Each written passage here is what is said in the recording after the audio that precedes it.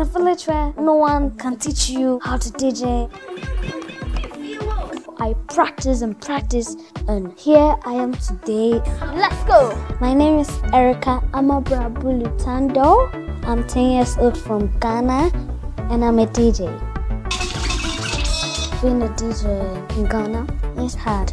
You need attitude like, yo, yo, so the crowd feel what you're doing.